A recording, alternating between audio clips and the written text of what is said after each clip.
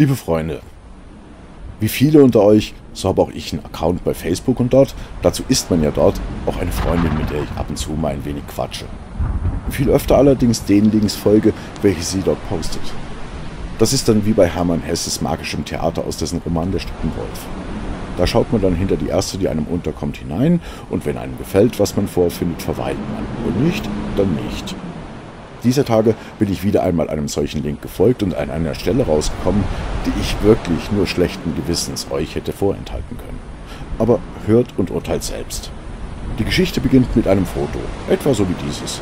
Doch das ist eigentlich nicht wichtig. Interessant ist die damit verknüpfte Geschichte. Eine Versicherungsnehmerin hatte einen Sturmschaden zu beklagen, doch hatte sie auch Glück im Unglück und war stolze Inhaberin einer entsprechenden Versicherung. So reichte sie bei dieser jener welcher den entstandenen Schaden ein und schwuppdiwupp glaubte sie, das Problem damit erledigt. Ich will euch jetzt kein Plädoyer gegen Versicherungen halten, aber ihr wisst ja selbst, eine Versicherung wäre keine Versicherung, hätte sie im Zahlungsfalle nicht erst einmal einige Fragen. Nun handelt es sich bei dem Schaden, wie gesagt, um einen Sturmschaden, also nicht unbedingt auf ein auf den Familienkreis beschränktes Drama, von dem erwartungsgemäß zu erwarten ist, dass die Ursachen hier offen zutage lägen. Der Versicherungsnehmerin aber ging in der Folge ein Schreiben ihrer Versicherung zu, doch bitte erklären, tätig sein zu wollen, wie es zu dem beklagten Schaden gekommen sei. Hand aufs Herz, meine Freunde. Wem unter euch würde da nicht zunächst der rhetorische Hut hochgehen? Die Versicherungsnehmerin verwandelte ihr Erstaunen in Kreativität und antwortete mit dem folgenden Brieflein an ihrer Versicherung. Viel Vergnügen. Sehr geehrte Damen und Herren, Sie fordern eine Begründung, wie es dazu kam, dass mein Zaun von einem Sturm zerstört worden ist. Nach anfänglicher Ratlosigkeit was man da wohl schreiben soll, ich dennoch gezwungen bin zu antworten, um meine Pflichten als Versicherungsnehmerin nachzukommen, trage ich ordnungsgemäß vor. Die Sonne wärmt die Luft weltweit unterschiedlich. Wo sie senkrecht auf die Erde trifft, also am Äquator, wärmt sie stärker als da, wo sie schräg auftrifft, Nord- oder Südpol. Und über Land wärmt sie stärker als über dem Meer. Aufgewärmte Luft dehnt sich aus der Luftdruck wird an diesen Stellen höher. Man nennt das Hochs. An kühleren Stellen bleibt der Luftdruck niedrig, sogenannte Tiefs. Die Luft versucht, diese Druckunterschiede wieder auszugleichen.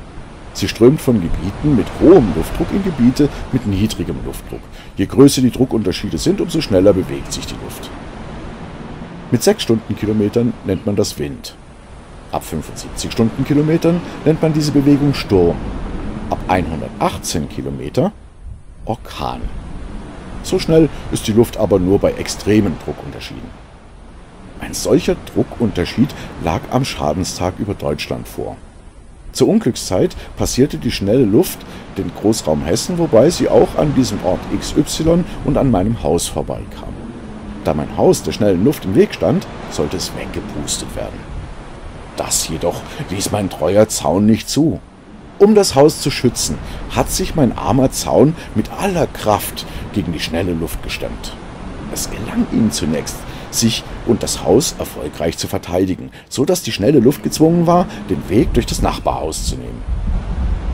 Als aber das große Dach des Nachbarhauses in einem Stück vorbeigeflogen kam, was nur in sehr seltenen Fällen vorkommt, muss mein Zaun erschrocken oder zumindest kurz abgelenkt gewesen sein. Die schnelle Luft hat ihre Chance sofort genutzt und meinen treuen Zaun heimtückisch niedergedrückt.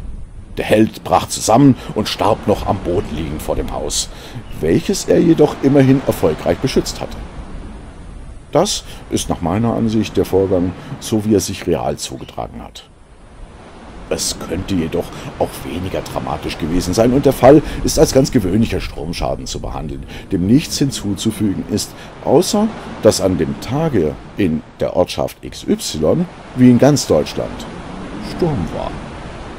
Sollte ein weiterer Vortrag notwendig sein, Zeugenaussagen begehrt oder Ihrer Ansicht nach eine Obduktion des Zaunes erforderlich sein, stehe ich Ihnen gerne zur Verfügung. Mit freundlichen Grüßen. Was ich noch hinzuzufügen hätte, wäre eigentlich nur noch, dass ich die Namen, die in diesem Zusammenhang auch den Weg zu meiner Kenntnis fanden, hier aus daten- und persönlichkeitsschutzrechtlichen Gründen nicht genannt habe. Doch der Vorgang ist authentisch und überprüfbar. Ich hoffe, es hat euch ein bisschen Vergnügen bereitet und ihr habt für euren nächsten Fall der Fälle eine Anregung bekommen. Stets euer. Aber halt, das ist eine ganz andere Geschichte. Tschüss.